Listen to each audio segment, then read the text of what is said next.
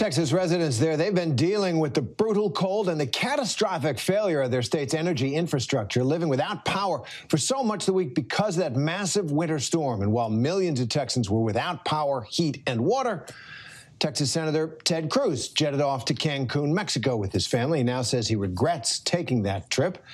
Our Trevor Ault is in Houston, Texas, with the latest on all this. Hi, Trevor. Well, Terry, Diane, good afternoon. It is getting a little bit warmer here in Houston, and most areas have their power back, but the new problem right now is water. This was a vaccination site here in Houston. It's been repurposed, now staffed by hundreds of city employees and volunteers, and they're giving out a million